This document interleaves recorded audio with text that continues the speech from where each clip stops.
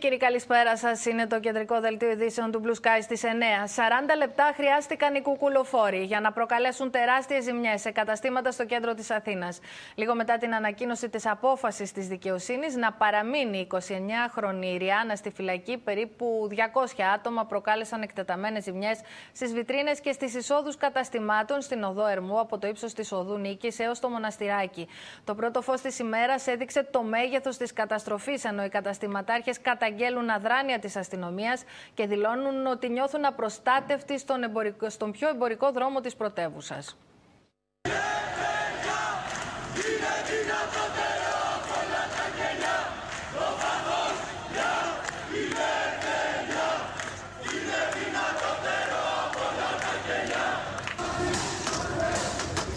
Γυαλιά καρφιάτα έκαναν νεαροί στον πιο εμπορικό δρόμο της Αθήνας, στην οδό Ερμού, από την Νίκης μέχρι και το Μοναστηράκι.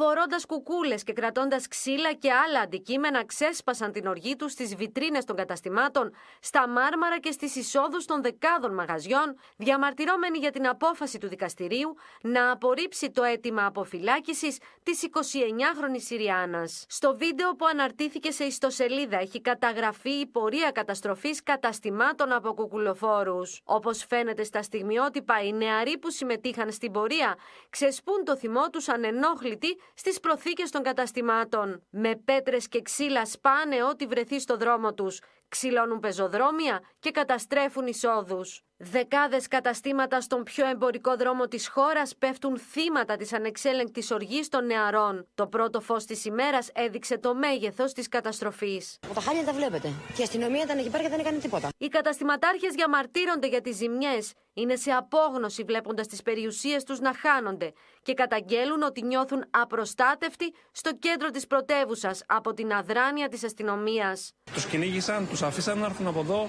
κάνανε αυτή τη δουλειά τους, φύγαν από εδώ και μετά τους κυνηγούσαν κάτω. Δηλαδή δεν βρίσκω νόημα σε όλο αυτό. Αργά το μεσημέρι άρχισε και επίσημα η καταγραφή των ζημιών. Οι έμποροι της Αθήνας κατηγορούν τους αρμόδιους φορείς για παντελή έλλειψη πρόνοιας και απαιτούν να αποκατασταθεί οριστικά το κλίμα ασφάλειας στο κέντρο της πρωτεύουσας. Τα χθεσινά επεισόδια είχαν και ηθικό αυτούργο. Ηθικός αυτούργος ήταν ο κ. Κοντονής. Στην καρδιά της τουριστικής περίοδου η εικόνα είναι αποκαρδιωτική. Ο Δήμαρχος Αθηναίων Γιώργος Καμίνης έκανε λόγο για 67 καταστήματα τα οποία έχουν υποστεί σοβαρότατες ζημιές δηλώνει πως συμμερίζεται την απόγνωση των καταστηματαρχών, επιρρύπτοντας ευθύνες και στο Υπουργείο Προστασίας του Πολίτη.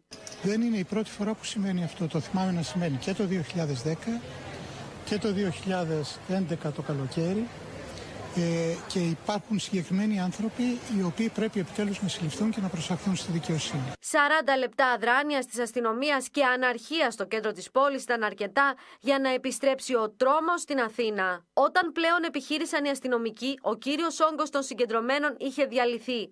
Έγιναν 14 προσαγωγές που οδήγησαν σε μία μόνο σύλληψη και αυτή με την κατηγορία της κατοχής μικροποσότητας ναρκωτικών. Η 29χρονη Ιριάννα κατηγορείται για συμμετοχή στην οργάνωση συνωμοσία πυρήνων της φωτιάς, καθώς διατηρούσε σχέσεις με νεαρό που είχε συλληφθεί ως εμπλεκόμενος. Παρά το γεγονός ότι το δικαστήριο αθώωσε το σύντροφό της, η ίδια από ένα δείγμα DNA που έδωσε οίκιο θελός, καταδικάστηκε σε πρώτο βαθμό σε 13 χρόνια κάθερξη χωρίς αναστολή με τις επιβαρυντικές διατάξεις του νόμου για την τρομοκρατία. Το εφετείο αποφάσισε να μην ανασταλεί η ποινή της. Η απόφαση ελήφθη κατά πλειοψηφία 3-2, καθώς δύο δικαστές είχαν την άποψη ότι θα πρέπει να αφαιθεί ελεύθερη με την επιβολή περιοριστικών όρων. Την ίδια τύχη με αυτή τη Συριάνα επεφύλαξε το δικαστήριο και στον 33χρονο Περικλή, ο οποίος επίσης καταδικάστηκε σε ποινή κάθριξης 13 ετών για την ίδια υπόθεση που αφορά στη συνωμοσία πυρήνων της φωτιάς. Με ανάρτησή τους στο διαδίκτυο, οι κουκουλοφόροι που συμμετείχαν στη χθεσινή πορεία που είχε ως αποτέλεσμα τις μεγάλες καταστροφές στα καταστήματα της Ερμού δηλώνουν ότι οι καταστροφές σηματοδοτούν πως δεν υπάρχει ειρήνη χωρίς δικαιοσύνη. Στο κείμενο αναφέρουν ότι αυτές οι καταστροφές ήταν μια πράξη δικαιολογημένη και υπερασπίσιμη, ενώ τονίζουν πως πρέπει να γίνει κατανοητό προς κάθε κατεύθυνση πως κάθε ώρα, κάθε μέρα που η Ριάννα και ο Περικλής βρίσκονται φυλακοί θα είναι η μέρα σύμμετρου κόστους. Παράλληλα, επιτίθενται στα μέσα μέσα μαζικής ενημέρωσης και προσθέτουν: Αλήθεια, υπάρχει καμία αυταπάτη ότι με δύο ανθρώπους φυλακή για τις κοινωνικές τους σχέσεις η τουριστική βιομηχανία της Αθήνας θα συνεχίσει να δουλεύει κανονικά; Α αναλάβουν όλοι τις ευθύνες τους για αυτό που πρόκειται να ακολουθήσει. Δεν παλεύουμε μόνο για την Ιριάννα σαν άτομο, αλλά για την Ιριάννα σαν παράγωγο των διοκτικών μηχανισμών. Το ζήτημα των διώξεων κοινωνικών σχέσεων οφείλει να είναι για το κίνημα ένα ζήτημα υπαρξιακής σημασίας παρέμβαση για τις ε, κυβερνητικές θέσεις ε, και παρεμβάσεις στη δικαιοσύνη, αλλά και για τα επεισόδια στο κέντρο της Αθήνας έκανε από τη Λακωνία, όπου περιοδεύει ο πρόεδρος της Νέας Δημοκρατίας, Κυριάκος Μητσοτάκης. Οι απαράδεκτες επιθέσεις της κυβέρνησης στη δικαιοσύνη τραυματίζουν βαριά τη δημοκρατία στη χώρα μας. Δείχνουν ότι η κυβέρνηση ΣΥΡΙΖΑ ανεξαρτήτων Ελλήνων έχει ξεπεράσει κάθε φραγμό με την αλαζονία και τον αυταρχισμό της.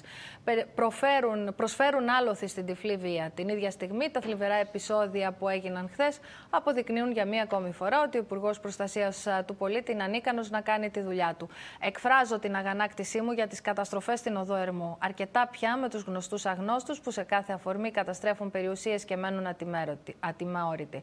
Στο θεσμικό κατήφορο που σπρώχνει η κυβέρνηση τη χώρα, καλώ όλους τους δημοκρατικούς πολίτες να σταθούν απέναντι.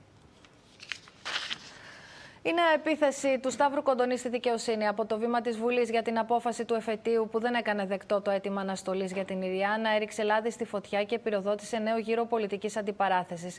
Σύσσωμη αντιπολίτευση επιτίθεται στην κυβέρνηση και για τις καταστροφές στην Αθήνα, με τη Νέα Δημοκρατία να καταγγέλει τον Υπουργό Δικαιοσύνης ως ηθικό αυτούργο των επεισοδίων.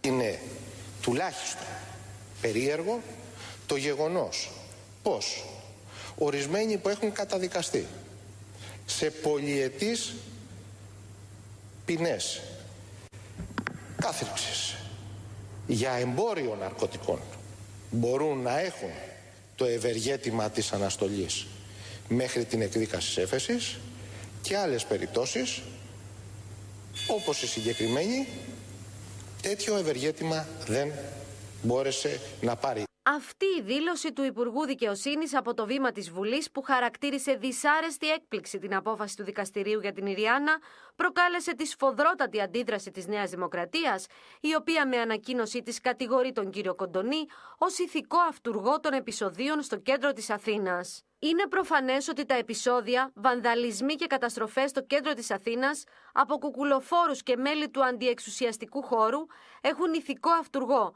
που δεν είναι άλλος από τον Υπουργό Δικαιοσύνης κ. Σταύρο Κοντονή. Είναι η πρώτη φορά που ο Υπουργός Δικαιοσύνης εκφράζει από το βήμα της Βουλής την έντονη δυσαρέσκειά του για μια δικαστική υπόθεση και προεξοφλεί νέα εκδίκασή της με άλλη σύνθεση του δικαστηρίου. Όταν ο κ. Κοντονής λέει για δυσάρεστη έκπληξη για την απόφαση, και εγώ ερωτώ, δυσάρεστη έκπληξη γιατί; Είχε δώσει κάποια υπόσχεση και η απόφαση δεν του άρεσε και ήταν δυσάρεστη έκπληξη; Ε, μίλησε επίσης ότι ε, στην ουσία η απόφαση αυτή θα αναιρεθεί από μια άλλη απόφαση, γιατί είπε για ότι μπορεί να γίνει μια νέα αίτηση αναστολής με διαφορετική, σύνθεση. με διαφορετική σύνθεση. στην πραγματικότητα. Ναι, άρα στην ουσία είπε και προανήγγειλε μια διαφορετική απόφαση. Η δικαστική απόφαση να παραμείνει στη φυλακή η Ριάννα άνοιξε ένα νέο κύκλο επιθέσεων της κυβέρνησης και του ΣΥΡΙΖΑ προς τη δικαιοσύνη. Λίγες ώρες μάλιστα μετά την επίσκεψη του Πρωθυπουργού στο Υπουργείο Εργασίας, που είχε εξαπολύσει βολές εναντίον της δικαιοσύνης, κατηγορώντας την ότι λαμβάνει αποφάσεις υπέρ των εργοδοτών. Είναι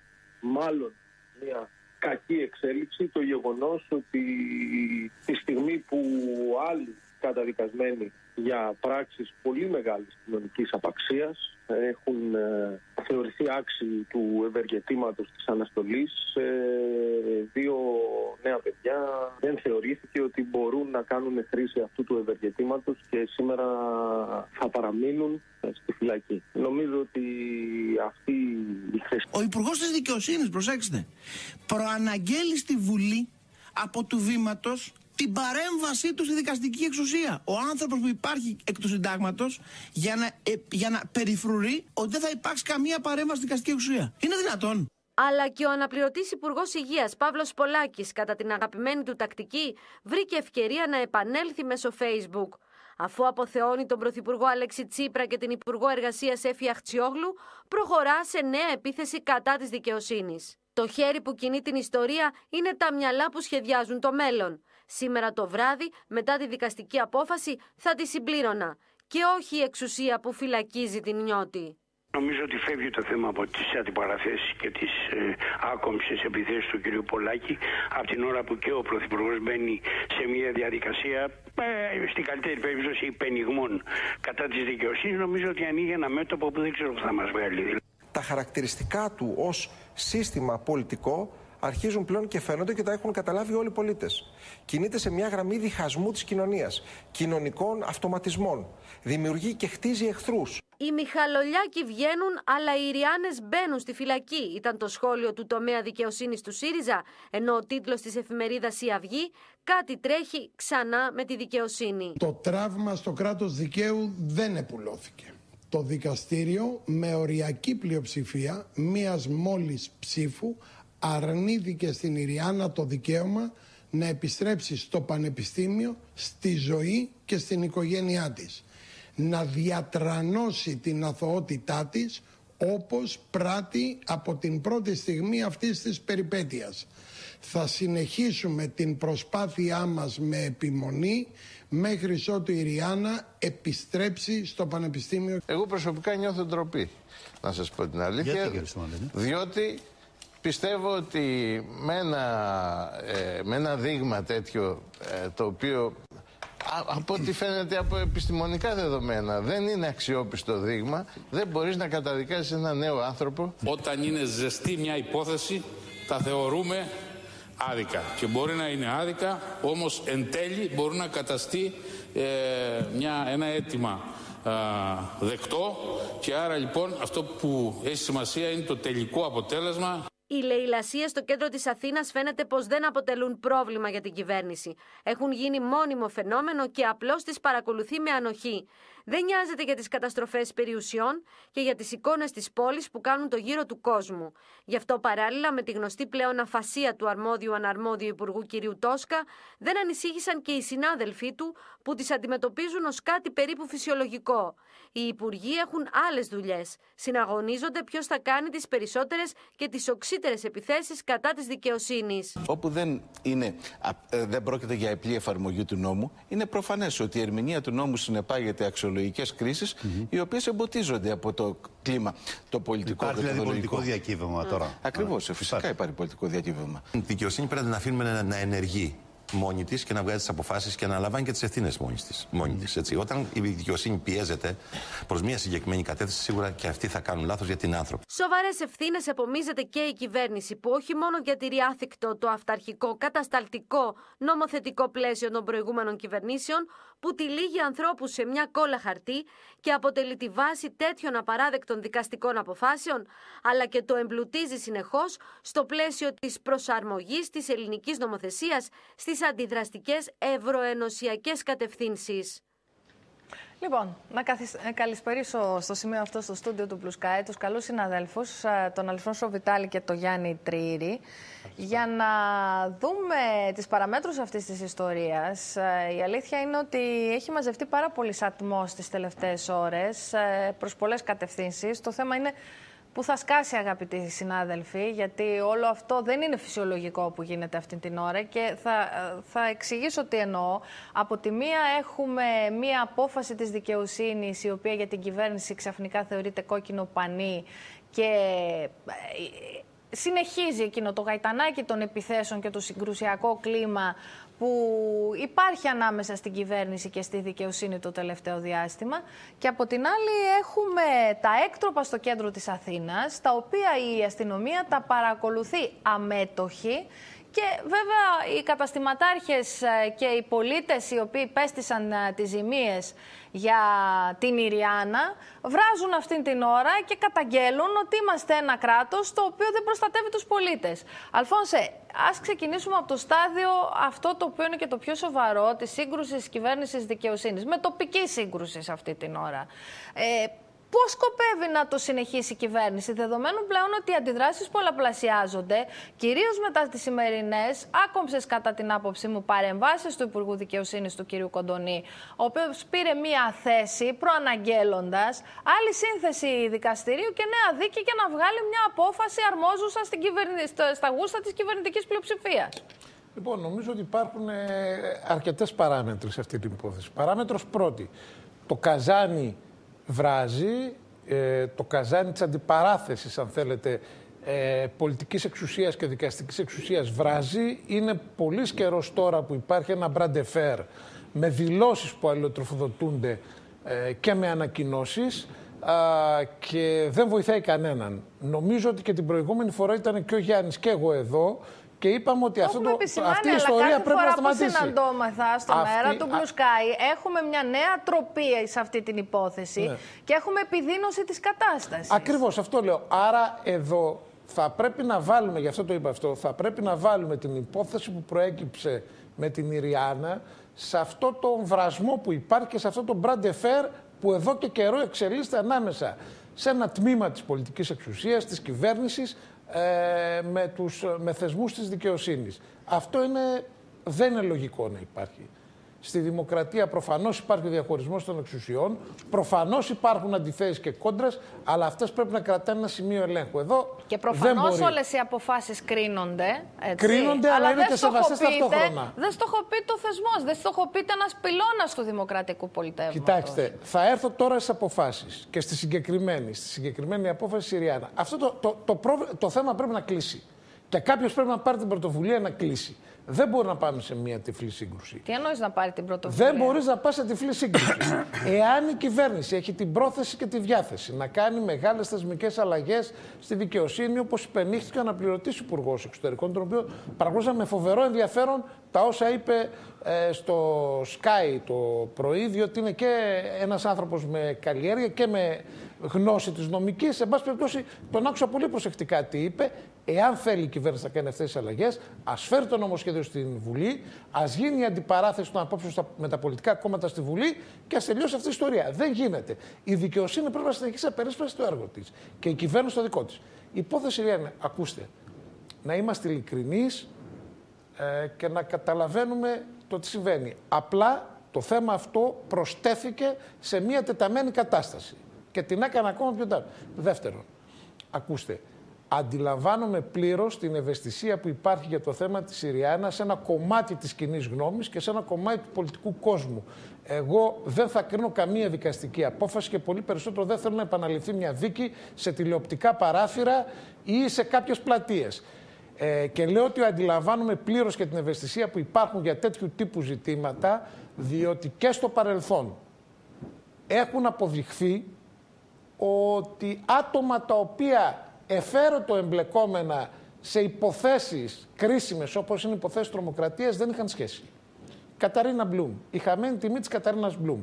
Εγώ δεν μπορώ να αποφανθώ τι ακριβώς έχει γίνει στην υπόθεση Συριάνα. Στέκομαι όμως προσεκτικά σε αυτή την απόφαση της δικαιοσύνης.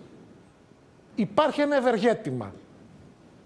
Το ευεργέτημα ότι μπορείς ε, με περιοριστικούς όρους να είσαι στο σπίτι σου. Δεν το πήρε η Ριάννα που το επιδίωκε. OK. Okay. Ενδεχομένως. Και οι δικαστές αποφάσισαν κατά πλειοψηφία. Βεβαίως. Κρίνοντας ότι μπορεί να είναι Έτσι υπέρ τέλεση νέων αξιόποινων πράξεων. Να τα... να τα λέμε αυτά. Εμένα μου αρέσει να τα λέω και ετοιμάζομαι να πω και, και τη συνέχεια. μέσα στα όρια και τις αρμοδιότητες που το Σύνταγμα, ο κώδικας δεοντολογίας και οι δικαστικές αρχές επιβάλλουν λειτουργία. Εγώ αναφέρθηκα στην υπόθεση της Καταρίνα Μπλουμ. Θα μπορούσα να αναφερθώ σε πολλές ελληνικές υποθέσεις που έχουμε ζήσει στο παρελθόν. Και υπάρχει αυτό που λέμε και το λάθος στο δικαστικό. Ανθρώπινο και ο δικαστής θα κάνει λάθος. Και ο γιατρός θα ναι, κάνει Αλλά μέσα από τους ίδιους τους μηχανισμούς του δικαίου αναδείχθηκαν και αυτά τα λάθη. Σωστό αυτό. Έτσι. Και δεν κρίθηκαν εξοδικαστικά, δεν κρίθηκαν μέσω των αναρχικών ή των μπακαλάκιδων, ούτε μέσω της αυθαιρεσίας κάποιων υπουργών. Όχι, εδώ έρχομαι τώρα. Θέλει λοιπόν πάρα πολύ μεγάλη προσοχή ο χειρισμός που γίνεται σε τέτοιες αποφάσεις. Και αντιλαμβάνομαι ότι σε πολλούς από εμάς που είδαμε και αυτή την ε, ε, ταινία, τη χαμένη τιμή της Καταρίνα Μπλουμ. Και έχουμε παρακολουθήσει και στο παρελθόν τέτοιες ιστορίες. Ε, και μπορεί να υπάρχει προβληματισμός και μάλιστα έντονος. Απ' την άλλη όμως υπάρχει και το ρίσκο και το άγχος του δικαστή εάν υπάρχει μία εμπλοκή, έστω και μικρή, και αν αφαιθεί ελεύθερη και συμβεί κάτι, όπως έχει συμβεί με, με υπόδικο σε ποινική υπόθεση, ο οποίος ε, πήρε ένα ευεργέτημα και βγήκε έξω και τα έκανε μπάχαλο ποιος θα κυνηγάει ποιον. Άρα πρέπει να είμαστε πολύ προσεκτικοί σε αυτά τα πράγματα και αυτά δεν λύνονται.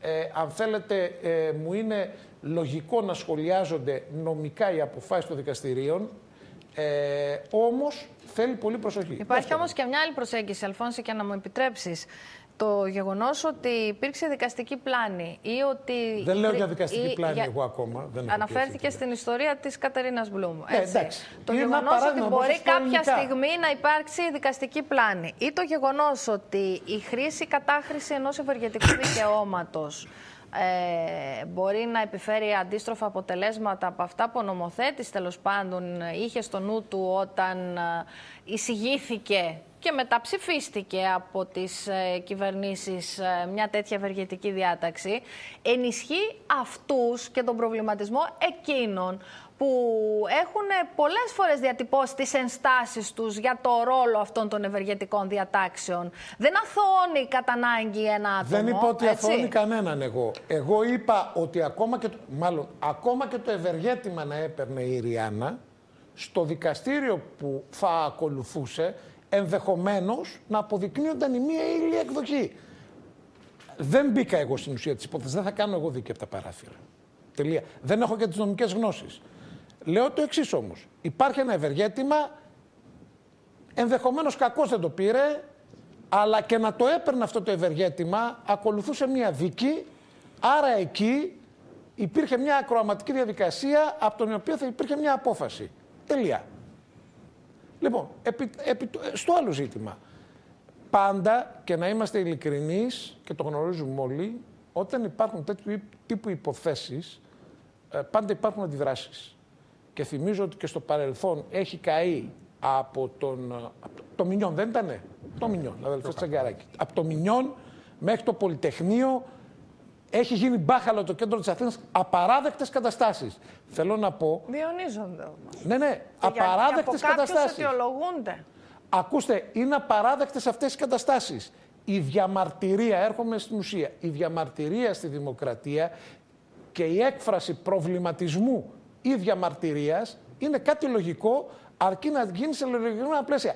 Κανένας δεν μπορεί να κατηγορήσει μια ομάδα πολιτών, είτε είναι αναρχικοί, είτε είναι αριστεριστές, είτε είναι δεξιοί, δεν έχει σημασία, οι οποίοι δεν συμφωνούν με μια δικαστική απόφαση και δείχνουν αυτοί τους την αντίθεση. Λογικό. Δημοκρατία έχουμε, ο καθένας μπορεί να το κάνει αυτό το πράγμα. Αυτό που είναι παράλογο και δεν μπορεί να είναι ανεκτό πλέον είναι αυτή η εικόνα καταστροφών και ειδικά στο πολύπαθο κέντρο της Αθήνας. Και το θύμισα αυτό το πράγμα από παλιά το τι έχει γίνει, διότι εδώ κάποια στιγμή το κράτος, είτε είναι η κυβέρνηση του ΣΥΡΙΖΑ, είτε της Νέας Δημοκρατίας, είτε του ΠΑΣΟΚ, είτε δεν ξέρω οποιαδήποτε κυβέρνηση είναι, πρέπει να κόψει μαχαίρι αυτές τις πρακτικές. Τελεία. Οι περιουσίες ε, των ανθρώπων πρέπει να προστατευτούν. Αυτό το πανηγύρι πρέπει να τελειώσει. Πρέπει να γίνει σε Δηλαδή, Αλλά εμένα... ας, μπούμε, ας μπούμε στη συνέχεια σε αυτό, να, να πάρω και τη ναι, θέση του Γιάννη του Τρύρη. Καταρχήν για αυτό το, το πόλεμο που έχει ξεκινήσει η κυβέρνηση με τη δικαιοσύνη, Γιάννη. Εγώ θέλω να ξεφύγω λίγο από την πρώτη σου ερώτηση και να πω δύο-τρία πράγματα α, σαν συνέχεια, αν μου επιτρέπεις, ναι, αυτό που άκουσα από τον Αλφόνσο. Να βάλουμε λίγο τα θέματα σε μία τάξη. Το πρόβλημα είναι πολύπλευρο, πολύπλοκο και δυσεπίλητο. Και πολύ είναι... παραγωγικό. Ακριβώς. Είναι ένα πρόβλημα που χρονίζει και ένα πρόβλημα που τουλάχιστον όσα χρόνια ζω και κάνω αυτό το επάγγελμα του δημοσιογράφου και το βιώνω, δεν, έχει, δεν έχω βρει ποτέ κάποια πολιτική εξουσία που να έδωσε λύση. Να το έχει αντιμετωπίσει. Να, το, έχει, να το έχει αντιμετωπίσει. Ε, με αποκορύφωμα τα γεγονότα πα... του 7-8, πότε ήταν. Ακριβώς. Και με το θάνατο των ανθρώπων στη Eurobank κτλ. Πάμε όμως να δούμε και μια άλλη πλευρά. Την πλευρά το ποιος ευθύνεται. Στη Μαρφίν. Ναι. ναι. Στο, στη Μαρφίν. Στη, την πλευρά του ποιος ευθύνεται για την ανομία που επικρατεί. Ε, εδώ δεν είναι θέμα πολιτικής εξουσίας, θα με συγχωρήσετε πάρα πολύ. Είναι θέμα δικαστικής εξουσίας και θέμα των υπηρεσιών τάξης αυτής της χώρας. Οι αστυνομικοί πολλάκες έχουν συλλάβει ταραξίες, εγκληματίες, τους έχουν πάει στη δικαιοσύνη και η δικαιοσύνη με πάρα πολύ μεγάλη ευκολία τους έχει αφήσει ελευθέρους. Μάλιστα, οι αστυνομικοί συνεχώς. Το έχουν καταγγείλει πολλές φορές. Συνεχώς το καταγγέλουν ότι και που τους συλλαμβάνουμε, τι κάνει η δικαιοσύνη. Άρα λοιπόν η δικαιοσύνη δεν είναι άμερη ευθυνών. Έχει τεράστιες ευθύνες για αυτό που συμβαίνει. Έχει μεγάλες ευθύνες γιατί πάρα πολλές αποφάσεις της, θα το ξαναπώ, αντιτίθεται στο περικενού δικαίου αίσθημα. Και στην περίπτωση της Συριάνας αυτό συμβαίνει. Και στην περίπτωση ε, πολλών ανθρώπων, αυτό, δεν, εγώ το, δεν, την Ιριάννα δεν παίρνω σαν παράδειγμα, πάρα πολλών ανθρώπων. Βλέπουμε άνθρωποι, επιχειρηματίες που είπες, για πάρα πολύ μικρά χρέη προς το δημόσιο, την εφορία, τα ταμεία, έτσι, να είναι έγκλειστοι στις φυλακές και να μην μπορούν να πάρουν άδεια για να βγούνε. Ακόμη και αν είναι άρρωστοι, ακόμη και αν πεθαίνουν. Και βλέπουμε την κυρία δικαιοσύνη, με συγχωρείς πάρα πολύ Λίνα, να δίνει άδεια σε μεγαλέμπορους ναρκωτικών, σε εγκληματίες που φεύγουν, βγαίνουν και διαπράττουν χίλια δυο εγκλήματα. Τα έχουμε ζήσει. Αυτά. Νονή της νύχτας με άδειες από την φυλακή με δικαστικές αποφάσεις. Αυτό λοιπόν είναι ένα μεγάλο πρόβλημα. Δεν είναι μόνο πρόβλημα ότι η σημερινή κυβέρνηση που είναι κάκιστα παρενέβη. Κάκιστα παρενέβη. Δεν υπάρχει κανένας λόγος να παρεμβαίνεις. Τι στόχευση πιστεύεις ότι παρεμβαίνει; Δηλαδή, ποιο είναι θα, αυτή τη στιγμή η στρατηγική τους, ποια είναι; Θα σου πω, έχει ξεκινήσει ένας α, πόλεμος μεταξύ κυβέρνησης και δικαιοσύνης, ο οποίος από πού προέρχεται. Προέρχεται από την απίστευτη νευρικότητα, κυρίως των πολιτικών δυνάμεων, λόγω της μακρόχρονης επιβολής λιτότητας σε αυτή τη χώρα και μεταφέρεται αυτός ο πόλεμος σε μια πολιτική σκηνή... Νευρικός για... κλονισμός του πολιτικού συστήματος, είναι. Είναι νευρικός κλονισμός του πολιτικού συστήματος. Πρόσεξε όμως, αυτό είναι τεράστιο λάθος από το πολιτικό σύστημα. Γιατί αυτό το νευρικό κλονισμό το πολιτικό σύστημα το μεταφέρει και στην κοινωνία και γίνεται νευρικός κλονισμός και στην ελληνική για κοινωνία. που σωρεύεται Ακριβώς. Όμως αυτό, αυτό το τεράστιο κυβερνητικό λάθος ε, να κρίνεις τόσο απρο, ε, άκομψα. και να παρεμβαίνεις τόσο απρόκλητα ε, στη δικαιοσύνη, δεν απαλλάσσει τη δικαιοσύνη από τα τεράστια ε, λάθη ναι, που έχει κάνει. Υπάρχει μια διαφορά όμως, Γιάννη μου, και να μου επιτρέψεις. Το να κάνουμε εγώ, εσύ και ο Αλφόνσος Βιτάλης κριτική και στις αποφάσεις της δικαιοσύνης και Ναι. στα κυβερνητικά επιπραγμένα εκ του ρόλου μας. Ναι. Ε, Ούτως ή άλλως, ο ρόλος μας είναι πέραν της έρευνας, της δημοσιογραφικής και διαπιστωτικός και κριτικός Βεβαίως. έναντι της της εκάστοτε εξουσίας. Αυτό επιτάσσει και η ελευθεροτυπία. Αυτό επιτάσσει και η ελευθεροτυπία και η δημοκρατία. Το να το κάνει όμως ένας υπουργός με αυτόν τον τρόπο, όταν έχει και το μαχαίρι και το πεπόνι και όταν είναι πρώτον πυλών και μια σχεδιαζόμενη συνταγματική αναθεώρηση, Δεν αμφιβάλλω. αυτήν την ώρα δημιουργεί Συμφωνώ. πολλά προβλήματα. Συμφωνώ απόλυτα. Συμφωνώ απόλυτα όμως, θα ήθελα να προσθέσω σε αυτό ότι ναι, μεν εμείς έχουμε ένα συγκεκριμένο ρόλο που και εμείς κρινόμεθα και εμεί και εμείς, ε, μηνιόμεθα Και μην ξεχνάς και, ότι και μας, μας από κάνουν αυτή αγωγές την κυβέρνηση και έχουμε- είμαστε και και εμείς και έχουμε υποκείμενα, χίλια δυο πράγματα. αντικείμενα Α- ε, εντονότατης κριτικής και, κατά, Βεβαίως, και βεβαίως, επιθέσεων. βεβαίως, βεβαίως. Έτσι. Όμως, πρόσεξε ε, κάτι που θέλω να στο συμπληρώσω, είναι συμπληρωματικό αυτό που είπες.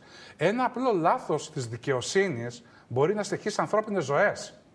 Δεν είναι τόσο απλό και η δικαιοσύνη. Ποτέ δεν ήταν απλό. Ακριβώς. Άρα το, το πολιτικό λάθος είναι εξίσου σοβαρό με το λάθος ενός δικαστηρίου. Έτσι. Δεν μπορείς να καταδικάζεις Ναι, αλλά αυτό αθώους. δεν μπορεί να αν το κρίνει θυμάσαι- ούτε ο κύριος Κοντονής, ούτε ο κύριος Βεβαίως, Παναγόπουλος βεβαίως. και Ναι, πολύ ναι. περισσότερο Αλλά, ο εν κύριος πάση, Πολάκης. αλλά εν πάση πε- περιπτώσει κάποιος πρέπει να το κρίνει. Και στη δικαιοσύνη, πρέ- αυτό λέω, είναι θεσμικό το ζήτημα. Ναι, πρέπει να ξεχνάς υπάρξει κάτι. ένας Την ρόλος άσκηση- αυτοκάθαρσης. Την άσκηση των ένδικων μέσων. Ναι, Που είναι το βεβαίως. προστάσιο το νομικό που έχει ο εκάστοτε κατηγορούμενος δια του Βεβαίως. συνηγόρου υπεράσπισης και ο οποίος μπορεί να ε, εξαντλήσει όλα τα μέσα έτσι ώστε να αποδειχθεί Καμία είτε αν αντίρρηση. είναι υποκείμενο πλάνης, είτε αν είναι άδικης κρίσης υποκείμενο και να δικαιωθεί σε δεύτερο, σε τρίτο ή σε, δεν ξέρω σε ποιο Ναι, βαθμό. πάρε όμως- Άρα λοιπόν Όχι, εκεί δεν είναι, έτσι, παρέλκει απ- δεν είναι έτσι απλά. Πάρε αυτού όμως... του είδους η Μισό, παρέμβαση. μισό. Πάρε όμως και, Και την... α- κυρίως η υπόνοια ότι θα στηθεί νέα δίκη με νέα σύνθεση. έτσι. Αυτό, ας την υπόθεση αυτή. Εγώ σου μιλάω Είναι γενικότερα, ένδικο έχεις δίκιο μέσο. σε αυτό, το είπαμε. Πάρε όμως και, την, πάρε, πάρε όμως και την εκτίμηση της κοινωνίας. Τουλάχιστον έτσι. Ε, Μα από δεν, τις δεν δικάζει η δημοσκοπήσεις- κοινωνία όμως. Ναι, μισό Γι' λεπτό. αυτό Δε- υπάρχουν οι όχι, φυσικοί όχι, δικαστές. όχι. Μην τα Δικάζει- ξεχάσουμε και όλα. Δι- η κοινωνία δικάζει τους πάντες. Αυτό θα σου πω. η Α, κοινωνία εντάξει, δικάζει. κρίνει, τους- ναι. Η κοινωνία Τους δικάζει. δικάζει κάθε τέσσερα χρόνια Ακριβώς, στην κάλπη. Τους πολιτικούς. Ναι. Τους δικαστικούς πώς τους δικάζει η κοινωνία; Μια ερώτηση. Τους δικαστικούς πώ του δικάζει; Τους δικαστικού που, που βλέπει; Να υπερασπίζονται τις συντάξεις τους, να υπερασπίζονται τους μισθούς τους, να δέχονται τις περικοπές. Δεν είναι λαϊκίστικο αυτό που λέω, είναι η αλήθεια. Να δέχονται τις περικοπές όλων των άλλων. Να κρίνουν πάντα, πάντα σε πολλές περιπτώσεις, σε αρκετές περιπτώσεις, με πολιτικά κριτήρια. Να, να διαπλέκονται Κάποιοι με πολιτικούς, ακούσαμε την περίπτωση ναι. τη κυρία Θάνο όμως... διαπλεκόμενη με το ΣΥΡΙΖΑ, ακούσαμε την λοιπόν- περίπτωση του κυρίου Αθανασίου διαπλεκόμενος με το. το του κυρίου Γαλανόπουλου διαπλεκόμενος με το Πασόκ. Με συγχωρείς. Τι είναι αυτό το αλυσβερή. Δεν το ε, καταλαβαίνω. και η κοινωνία δεν το καταλαβαίνει. Πολλές φορές ως επιχείρημα και μέσω των δημοσκοπήσεων. Ακριβώς, αυτό σου λέω. Αυτό σου μετέφερα. Τις δημοσκοπήσει. Την αξιοπιστία της την έχουν στα πολύ χαμηλά. Από την άλλη πλευρά όμως λύση δεν είναι ούτε η κατάργηση Αλίμονο. Ούτε στοχοποίηση. αλίμονο, αλίμονο. Είναι, είναι, ούτε, είναι και όμως... αυτή, ούτε και αυτή η εξέλιξη την οποία πραγματευόμαστε απόψε. Εγώ θέλω να σου πω δε ότι ε, αισθάνομαι για πρώτη φορά έτσι στη, στη δημοσιογραφική μου διαδρομή και μία συστολή και μία μηχανία στο να προσπαθήσω ε, να, να διαπραγματευτώ ένα θέμα στο οποίο ε, υπάρχει ένας όρος απαγορευτικός. Ε, να μπεις στη, στην ουσία του νομικού ζητήματος. Στην ουσία δεν μπορούμε να πούμε, δεν είμαστε νομικοί. Λοιπόν, ε, όμως... αλλά ε, όμως ε, πρέπει να μπεις κάποια στιγμή για να δώσεις και κάποιες παραμέτρους αυτής της υπόθεσης. Σε Δεν, είμαστε δεν μπορούμε να το κάνουμε ούτε τηλεόραση στο τηλεοπτικό Δεν το, δεν το επιτρέπει αυτή την ώρα, έτσι. Δεν διεξάγουμε δίκη από τα παράθυρα. Από την άλλη όμως, αυτό που αισθάνομαι εγώ σε στολή, δεν το αισθάνεται ούτε ο αρμόδιο και αμηχανία και εσύ και ο Αλφόνσος, δεν το αισθάνεται ούτε ο αρμόδιο υπουργοί, ούτε τα κυβερνητικά στελέχη. Εγώ να πω κάτι και να τελειώσω, ναι, ναι, ναι. και δεν ξέρω. Εμένα, ε, σε όλα αυτά που λέμε, γι' αυτό μίλησα για νευρικό κλονισμό της κοινωνίας και του πολιτικού συστήματος. Να σου πω κάτι. Εγώ άκουσα και με πολύ μεγάλη έκπληξη τον Δήμαρχο Αθηναίων, τον κύριο Καμίνη. Που είπε δεν γίνεται άλλο αυτό το πράγμα. Να βγάλει τη δημοτική αστυνομία ο κύριος Καμίνης αντί να κάνει υποδείξεις και να φυλάνε την ερμό. Δεν το κατάλαβα αυτό. Γιατί δεν το κάνει ο κύριος Καμίνης. Γιατί δεν βγάζει την, τη δημοτική αστυνομία. Κριτική, πάντως αυτό θέλω να πω, κριτική σε αποφάσεις της δικαιοσύνης πολλές φορές έχουν κάνει πολιτική. Ας μην το αγνοούμε. Και κορυφαίοι πολιτικοί, οι οποίοι είναι και νομικοί ταυτόχρονα, έχουν υπερασπιστεί στα δικαστήρια ή έχουν πάει ως μάρτυρες σε δικαστήρια για τέτοιου τύπου υποθέσεις. Για να είμαστε ε, μέσα στα πράγματα. Η κριτική υπάρχει. Το θέμα είναι πώς τη διατυπώνεις και με τι ισορροπίες. Εδώ χάθηκε ε, και το μέτρο, νομίζω. Εδώ έχει πραγματικά έχουν πάει πολύ μακρύτερα από ό,τι συζητούμε ένα θέμα από ένα κυβερνητικό λάθος να παρέμβει τόσο άμεσα.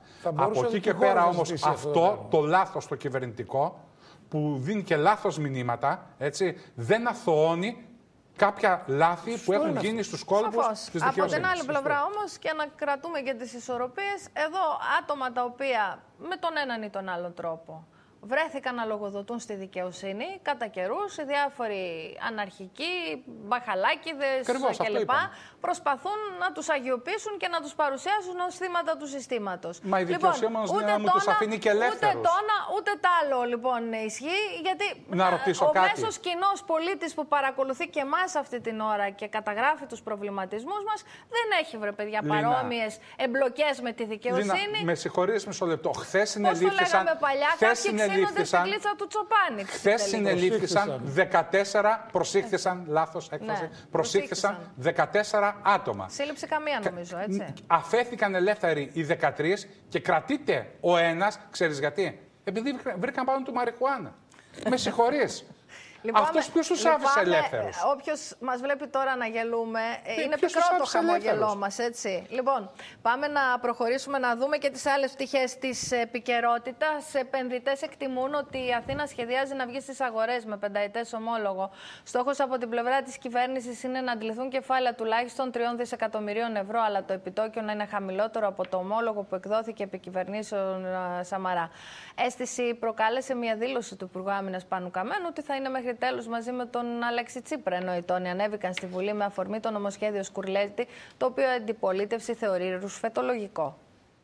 Ανταποδίδει τη στήριξη στον κυβερνητικό του εταίρο ο Πάνος Καμένος. Με μια συνέντευξή του σε ραδιόφωνο της Ικαρίας, ο Υπουργός Εθνικής Άμυνας δηλώνει ότι με τον κύριο Τσίπρα έχουν περάσει πολλά και ότι θα είναι μαζί μέχρι τέλους. Εμείς είμαστε μαζί γιατί πιστεύουμε σε ένα κοινό στόχο, σε ένα κοινό σκοπό τις διαφορές μας πολιτικές και τις εκφράζουμε και τις δίνουμε και στις ψηφοφορίες. Όμως θα είμαστε μαζί μέχρι το τέλος. Μην ελπίζουν ούτε να βάλουν μεταξύ μας, πώς να το πω, για όλους για να μας χωρίσουν. Ζυζάνια. Ζυζάνια, ούτε να δημιουργεί σχέση έλλειψη εμπιστοσύνη μεταξύ μας. Στη Βουλή, οι τόνοι ανέβηκαν ανάμεσα στον Πάνος Σκουρλέτη, τον Μάκη Βορύδη και τον Λεωνίδα Γρηγοράκο κατά τη συζήτηση του νομοσχεδίου για τους οργανισμούς τοπικής αυτοδιοίκησης στην αρμόδια επιτροπή. Αφού πια δεν έχετε πολιτική να υπερασπιστείτε, Τώρα ο μόνος δρόμος είναι να κλείσουμε το μάτι σε διάφορες ομάδες χωρίς κανένα ορθολογικό κριτήριο, ικανοποιώντας απολύτως παράλογα αιτήματα, στην πραγματικότητα προσπαθώντας να χτίσουμε, να χτίσετε με τε, μικρές ομάδες συγκεκριμένες σχέσεις ανταποδοτικές, σχέσεις πελατειακές, σχέσεις δροσφετολογικές, γιατί ακριβώς δεν υπάρχει πια πολιτικό αντίκρισμα δικό σας μέσα στην κοινωνία. Εγώ σας λέω ότι τα ρουσφέτια, και τελειώνω, ο εκμαυλισμός, οι πελατειακές σχέσεις, η κομματοκρατία και δεν θα πω την κουβέντα, αλλά η τρώση και το πλήγωμα των θεσμών επιβεβαιώνουν για μένα πόσο μεγάλο και πόσο ηθικό είναι το πλεονέκτημα του ΣΥΡΙΖΑ σήμερα. Το νομοσχέδιο αυτό είναι ακοστολόγητο. Διότι έχει περάσει όλη την κλασική διαδικασία, την κοινοβουλευτική και από το Γενικό Λογιστήριο και από τις οικονομικές υπηρεσίες του ε, Υπουργείου Εσωτερικών και βεβαίως μπορεί κάποιος να πει ότι υπάρχουν διατάξεις όπου δεν μπορεί να προσδιοριστεί ακριβώς το κόστος τους διότι αυτές είναι δυνητικές. Στο μεταξύ, μετά από έντονη φημολογία ότι η Ελλάδα θα έβγαινε στις αγορές μέχρι την Τρίτη, η κυβέρνηση αναγκάστηκε να τονίσει ότι παρακολουθεί στενά τις εξελίξεις στις αγορές ομολόγων και θα αποφασίσει για τον καταλληλότερο χρόνο εξόδου, όχι με βάση τις φημολογίες, αλλά με αποκλειστικό κριτήριο τη βέλτιστη διαχείριση του ελληνικού δημόσιου χρέους. Είναι πάρα πολύ κρίσιμο η έξοδος στις ε, αγορές ε, όταν γίνει να είναι πλήρως ε, προετοιμασμένη και ζυγισμένη ώστε να οδηγήσει στη βέλτιστη ε, δυνατή θέση της χώρας αλλά και να αποτελεί και την ε, βέλτιστη δυνατή κίνηση για τη διαχείριση του ελληνικού χρέους έτσι όπως αυτό διαμορφώνεται σήμερα. Επομένως η απόφαση της κυβέρνησης δεν εξαρτάται ούτε από τις συμβουλές των ε, οικονομολόγων, ούτε από τις φημολογίες των ε, δημοσιολόγων και των δημοσιογράφων, ούτε από παρενέσεις ε, οποιοδήποτε γενικώ ασχολείται με τα ζητήματα αυτά. Εμείς θα πάρουμε την... Επενδυτές εκτιμούν ότι η Αθήνα σχεδιάζει να βγει στις αγορές με πενταετές ομόλογο. Στόχος από την πλευρά της κυβέρνησης είναι να αντιληθούν κεφάλαια 3 έως 4 δισεκατομμυρίων ευρώ, αλλά το επιτόκιο να είναι χαμηλότερο από την απόδοση 4,95% που έχει πιάσει το 2014 το ομόλογο που εκδόθηκε επί κυβέρνησης Σαμαρά. Τώρα, Αλφόνσε, από ό,τι είδαμε, ε, οι διαρροές και τα ρεπορτάζ που διαβάζαμε ότι η επίκειται έξοδος στις αγορές μέχρι την Τετάρτη δεν επιβεβαιώθηκαν. Ε, υπάρχει κάτι το οποίο ανέστηλε αυτά τα σχέδια της κυβέρνησης επί του παρόντος, γιατί είδαμε και κάτι ηρωνικά σχόλια στο γερμανικό τύπο. Ε, είπα μετετέθη ο χρόνος, ε, έτσι ώστε να γίνει μια καλύτερη διαπραγμάτευση για το πενταετές. Κοιτάξτε, είναι στα σχέδια της ε, και στις προτεραιότητες της ε, κυβέρνησης μαζί με αυτό που λέει τη διαδικασία της παραγωγής ανασυγκρότησης της χώρας και η έξοδο στις αγορές. Υπήρχε αυτό το θέμα και υπάρχει. Το πρώτο ρεπορτάζ τουλάχιστον που μπορούσαμε και μαζέψαμε τις πολύ προηγούμενες μέρες είναι ότι η σκέψη ήταν η χώρα να κάνει την προσπάθεια να βγει στις αγορές στο τελευταίο δεκαήμερο του Ιουλίου, διότι υπήρχε μια σχετικά ήρεμη και ευνοϊκή συγκυρία τότε. Διότι αμέσως μετά υπήρχε ένα διάστημα το οποίο ίσως να είχε προβλήματα. Δηλαδή, ίσως να υπήρχαν προβλήματα με τη διαδικασία της αξιολόγησης που θα άρχιζε μετά το καλοκαίρι. Υπήρχαν γερμανικές εκλογές μπροστά. Υπήρχαν μια σειρά ζητήματα που δημιουργούσαν τριβές και προβλήματα σε μια ομαλή, έστω και υποστηριζόμενη, υποστηριζόμενες θα ήταν έτσι κι αλλιώς, έτσι. Μια ξέρει καλύτερα αυτή, έξοδο, έξοδο στις αγορές. νομίζω ότι εάν ισχύει, επειδή υπήρχαν και αντικρουόμενες απόψεις μες στο κυβερνητικό επιτελείο, αν θα έπρεπε να περιμένουν κι άλλο και να γίνει καλύτερη προετοιμασία και να πάνε αργότερα ενδεχομένως και μετά τις γερμανικές εκλογές ή να ολοκληρώσουν μια σειρά από διαδικασίες όπως αποκρατικοποιήσεις, όπως διαθροτικές αλλαγές και προς το τέλος του προγράμματος να επιχειρήσουν αυτή την έξοδο. Τώρα πες το μου κάτι, θέμα επειδή είναι αυτό ότι που ακόμα... τρέχει σαν ρεπορτάζ ε, είναι το εξής. ότι η κυβέρνηση ήθελε να προλάβει την έκθεση αξιολόγησης για τη βιωσιμότητα του χρέους του Δούνου του, η οποία επίκειται και κρίνει το, το δούνο του που ούτως ή άλλως είχε χαρακτηρίσει την προηγούμενη αυτό. αξιολόγησή του στο ελληνικό χρέος ως εξαιρετικά μη βιώσιμο. Ε, λέγεται ότι η κυβέρνηση ήθελε να προλάβει αυτό το timing και να βγει ε, μέχρι την Τετάρτη, Πέμπτη στις αγορές με ένα σχετικό κοντινό ε, επιτόκιο σε αυτό που είχε πετύχει η κυβέρνηση Σαμαρά Βενιζέλου. ε, δεν το κατάφερε και το παίρνει πίσω και συζητά τις ιστορίες των μεταρρυθμίσεων τώρα; Όχι, όχι, όχι, όχι. Δεν είναι αυτό. Η κυβέρνηση είχε πάντα υπόψη της το ότι από τη στιγμή που οι Γερμανοί θα συνέχισαν, ο κύριος Σόιμπλε, αυτή την προσέγγιση που έχει α, απέναντι στο ελληνικό θέμα και στο ζήτημα του χρέους, ήξεραν ότι αυτό το πιστοποιητικό από το Διεθνές Νομισματικό Ταμείο δεν θα το έπαιρναν. Άρα θα επιχειρούσαν μια έξοδο στις αγορές υποστηριζόμενη και ελεγχόμενη και μικρή. Αν θέλετε με αγοραστές τους οποίους θα τους είχαν βρει εκ των προτέρων. Ήταν περισσότερο μια κίνηση συμβολικού χαρακτήρα και ψυχολογικού, δηλαδή να τονωθεί και εσωτερικά η Μέσα οικονομία, αυτό αν μπορέσει ναι. δηλώσεων που επενδύουν έτσι ώστε να αλλάξουν, να αλλάξουν το κλίμα στην ακριβώς, οικονομία. και συμβολικού χαρακτήρα. Ότι κάτι έχει γίνει με αυτή τη διαδικασία της αξιολόγησης. Δεν πληρώνουμε τζάμπα λεφτά, κάτι παίρνουμε. Ε, νομίζω ότι ε, αυτό το περίφημο πιστοποιητικό ε, θα είναι πολύ δύσκολο να το πάρουμε από τη στιγμή που αυτή η πολύ σκληρή έως και απαράδεκτη ε, συμπεριφορά του κυρίου Σόιμπλε εξακολουθεί να υπάρχει απέναντι στη χώρα. Διότι θα χρειαστεί να το ξαναπούμε μία ακόμα φορά. Ε, το πρόβλημα της χώρας δεν είναι απλά οι κακοί χειρισμοί της σημερινής, της χθεσινής και της προχθεσινής κυβέρνησης. Το πρόβλημα της χώρας είναι οι πολιτικές εσωτερικής υποτίμησης που είναι διατεταγμένες και οργανωμένες από τα μνημόνια. Και τα υπαγορεύει αυτή η περίεργη αντίληψη που έχει ο κύριος Σόιμπλε για το τι είναι και τι δεν είναι οικονομία και πώς θα είναι μια οικονομία. Προφανώς υπάρχουν λάθος χειρισμοί, είναι ένα θέμα. Αλλά δεν πιστεύω ότι αυτοί οι λάθος χειρισμοί θα είχαν δημιουργήσει αυτού του τύπου την εσωτερική υποτίμηση, την ανεργία 20, πόσο της εκατό έχει φτάσει, είναι Γιάννη επίσημα, 25, Όχι, 24, 23 23 μισό. Ε, καλά, ούτε χαμηλό. ούτε τη διάλυση της μικρομεσαίας τάξης. Διότι σήμερα δεν είναι απλά να πεις ότι πήγα να διορθώσω το δημόσιο και να μαζέψω λίγο τον τραπεζικό τομέα. Εδώ διαλύθηκε ο ιδιωτικός τομέας. Ακόμα και οι υγιείς επιχειρήσεις διαλύονται από τις πολιτικές της εσωτερικής υποτίμησης που επιβάλλουν οι Γερμανοί. Γιάννη. Ε, σήμερα, τις τελευταίες μέρες, τα επιτόκια των ομολόγων, των ελληνικών ομολόγων βρίσκονται στα χαμηλότερα σημεία την τελευταία οκταετία. Άρα θα μπορούσε η κυβέρνηση να βγει χωρίς κανένα πρόβλημα.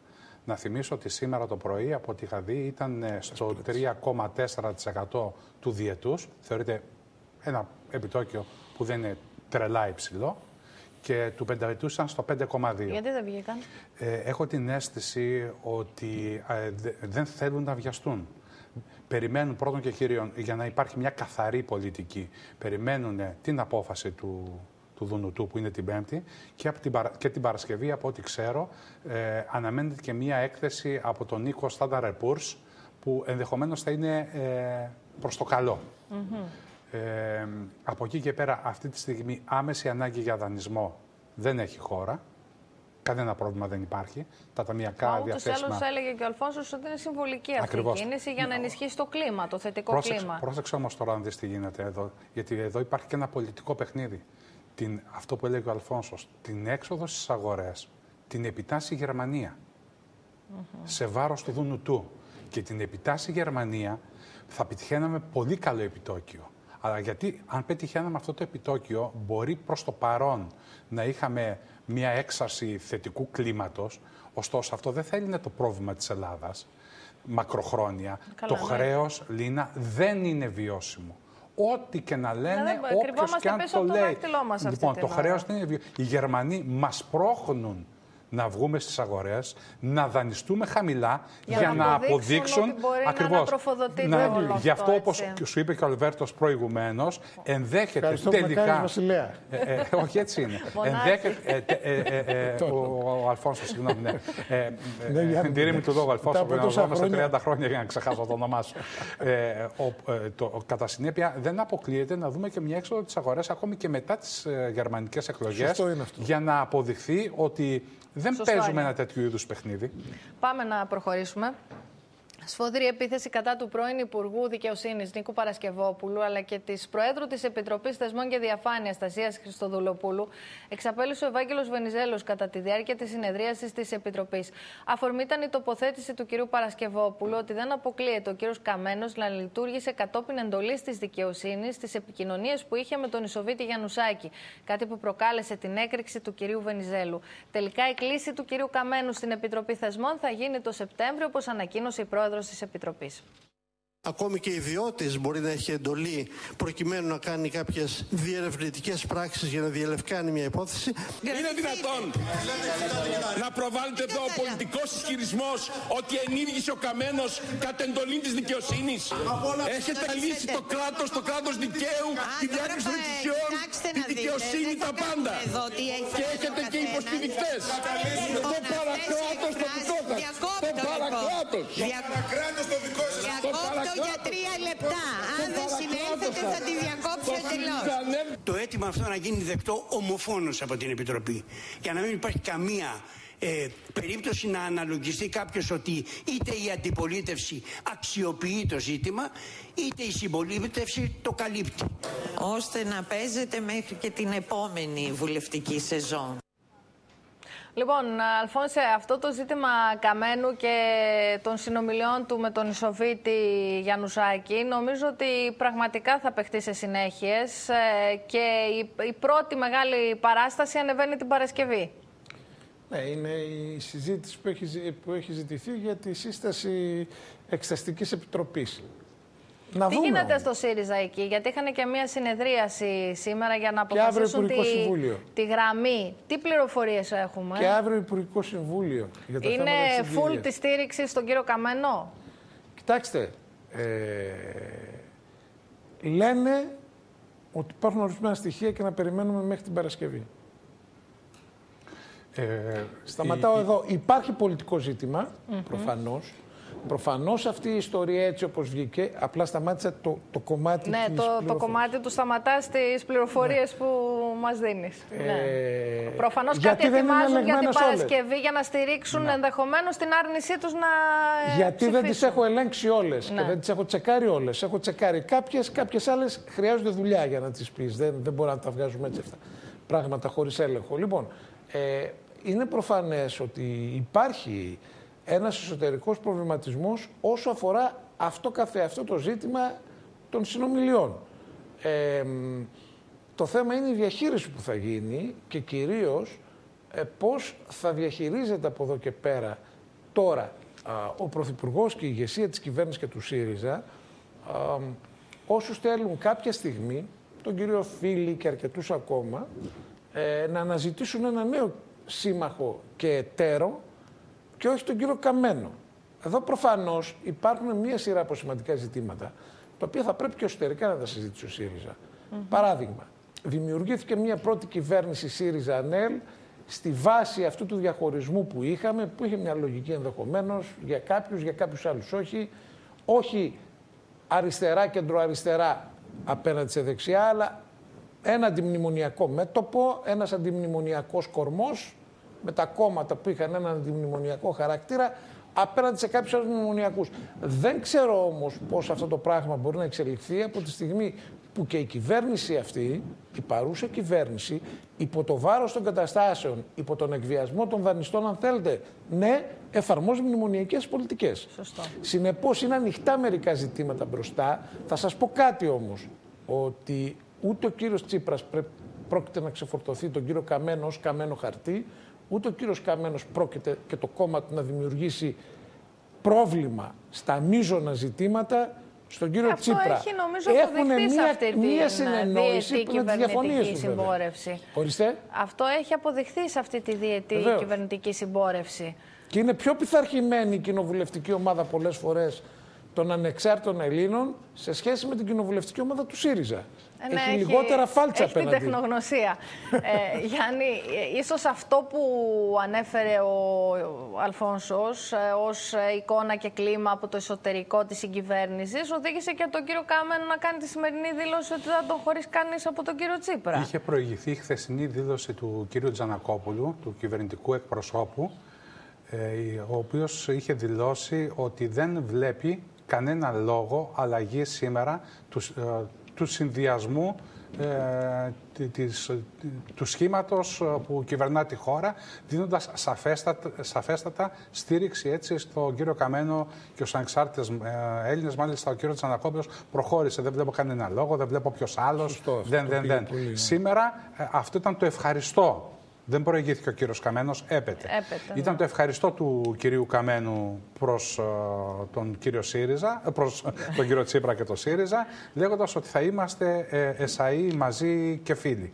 Οι πληροφορίες, οι δικές μου οι πρώτες πληροφορίες από τη συνεδρίαση που, του πολιτικού γραφείου του ΣΥΡΙΖΑ είναι ότι ε, δ- υπάρχει μια μικρή διχογνωμία. Δηλαδή, το αν θα πρέπει να δοθεί την Παρασκευή ε, γραμμή, κομματική γραμμή Σκληρή. σκληρή ή να, Αφαιθούν να, αφαιθούν, ελεύθεροι. ε, να αφαιθούν ελεύθεροι. Πάντως δεν μας Ε, έχουν συνηθίσει σε μεγάλες διαφοροποιήσεις, δεν το όχι. έχουμε παρατηρήσει Ναι, εδώ ναι, για ναι. μείζωνα ζητήματα. Ναι, σίγουρα, γιατί συνήθως ακολουθείται μια σκληρή κομματική γραμμή. Ενώ μετά την Είναι- κρίση του 2015 που ξεκαθάρισαν πολλά πράγματα, Έτσι. έκτοτε πάνε συντεταγμένα. Ξέρεις, αν στραβώσει όμως κάτι και υπάρχει Ξέρεις, δεν νομίζω να υπερψήφιση υπάρχει- της πρόταση αντιπολίτευσης, θα δημιουργηθεί θέμα. Εντάξει. Ε, σίγουρα Ναι, για, απλώς και, δεν αυτό, και, αυτό το, διαφαίνεται. και αυτό το ξέρουν όλοι. Ε, και εμ, αυτή τη στιγμή υπάρχει, το έλεγα και προηγουμένως, μια απίστευτη πόλωση. Σωστός. Η πόλωση συσπυρώνει, δηλαδή η συσπήρωση Ακριβώς. έχει φτάσει σε, σε απίστευτο σημείο σε όλες τις πολιτικές δυνάμεις. Κατά Ναι, την υπάρχει άποψή μου κόντρα. λοιπόν είναι λίγο δύσκολο ε, Να έχουμε εκπλήξει στην ναι, Παρασκευή. να έχουμε εκπλήξει την Παρασκευή. Αγαπητοί συνάδελφοι, σας ευχαριστώ πολύ που Να είστε ήσασταν α, μαζί μου απόψε. Προχωρούμε, κυρίες και κύριοι. Διήμερη περιοδία στη Λακωνία πραγματοποιεί ο πρόεδρος της Νέας Δημοκρατίας, Κυριάκος Μητσοτάκης. Νωρίτερα συναντήθηκε με τον Μητροπολίτη Μονεμβασίας και Σπάρτης, κύριο Ευστάθιο, και στη συνέχεια επισκέφθηκε τη Σπάρτη και την Αρεόπολη, όπου είχε την ευκαιρία να ακούσει από κοντά τα προβλήματα που αντιμετωπίζουν οι πολίτες. Επίσης, μετέβηκε στο κέντρο υγείας της Αρεόπολης, όπου συνομίλησε με γιατρούς και νοσηλευτικό προσωπικό. Ο κ. Μητσοτάκης εξαπέλυσε επίθεση στην κυβέρνηση για τη φορολογία, λέγοντας ότι η καθημερινότητα των πολιτών γίνεται αβίωτη. Νιώθουν ότι ο κόπος τους πάει χαμένος και ότι δουλεύουν σκληρά για να συντηρούν άχρηστες κυβερνητικές δομές και για να γίνονται ρουσφετολογικές προσλήψεις. Ο κ. Μητσοτάκης δεσμεύτηκε ότι η καταστροφική πολιτική της υπερφορολόγησης θα σταματήσει την επομένη που η Νέα Δημοκρατία θα γίνει κυβέρνηση. Μιλώντας εδώ στη Λακωνία με πολλούς πολίτες, συνάντησα για άλλη μια φορά την απογοήτευση και την οργή των ανθρώπων για την κυβέρνηση. Συνάντησα ελεύθερους επαγγελματίες που δήλωσαν τα πραγματικά τους εισοδήματα και είδαν το 60% και πλέον του καθαρού του εισοδήματος να πηγαίνει στο δημόσιο, το οποίο είναι πια προνομιούχος εταίρος στον καρπό του μόχθου τους. Έχουμε ως υποψήφιο πρωθυπουργό της χώρας. Να έρθει η ώρα ευλογημένη να σας υποδεχθούμε όπως πρέπει και ως αρχηγό εδώ της, του κράτους μας και της ε, κυβερνήσεως. Σαφή σημάδια νευρικότητας δείχνουν οι τουρκικές κινήσεις εντός της Κυπριακής ΑΟΖ από τη στιγμή που το γεωτρύπανο της Total, το West Capella, ξεκίνησε τις εργασίες στο οικόπεδο 11. Ο πρόεδρος της Δημοκρατίας Προκόπης Παυλόπουλος έστειλε νέο αυστηρό μήνυμα στην Άγκυρα από τη ΣΥΜΗ και το Φαρμακονήσι, ενώ με ψυχραιμία παρακολουθεί τα γεγονότα η Λευκοσία. Στο μεταξύ, διπλή τουρκική πρόκληση σε βάρος του πρόεδρου της Δημοκρατίας σημειώθηκε στο Σινούκ, στο οποίο επέβαιναν τόσο ο κ. Παυλόπουλος όσο και ο Υπουργός Άμυνας, μαζί με τον αρχηγό ΓΕΘΑ, ενώ πετούσαν πάνω από τη Ρόδο και το Φαρμακονήσι, η Άγκυρα προειδοποίησε ότι το αεροσκάφος παραβιάζει τουρκικό FIR. Με ένα νέο αυστηρό μήνυμα από το 549 τάγμα εθνοφυλακής από τη ΣΥΜΗ, το Φαρμακονήσι, το Αγαθονήσι και Τυχείο, ο πρόεδρος της Δημοκρατίας Προκόπης Παυλόπουλος κάλεσε την Άγκυρα να επιδείξει σεβασμό στο διεθνές δίκαιο και στο ευρωπαϊκό κεκτημένο. Με τους γείτονες θέλουμε να ζήσουμε μαζί ειρηνικά. Τους προσκαλούμε να βρουν την ευρωπαϊκή οικογένεια. Γιατί εκεί είναι το μέλλον τους. Αλλά για να γίνει αυτό πρέπει να σέβονται ορισμένα πράγματα την ιστορία, το διεθνές και το ευρωπαϊκό δίκαιο. Όταν το σεβαστούν, είμαστε εδώ.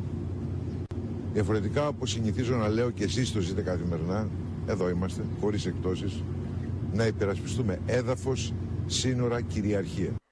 Ο εκνευρισμός της Άγκυρας για τις γεωτρήσεις στην Κυπριακή ΑΟΖ είναι κάτι παραπάνω από εμφανής από τη στιγμή που ξεκίνησαν οι έρευνες στο οικόπεδο 11.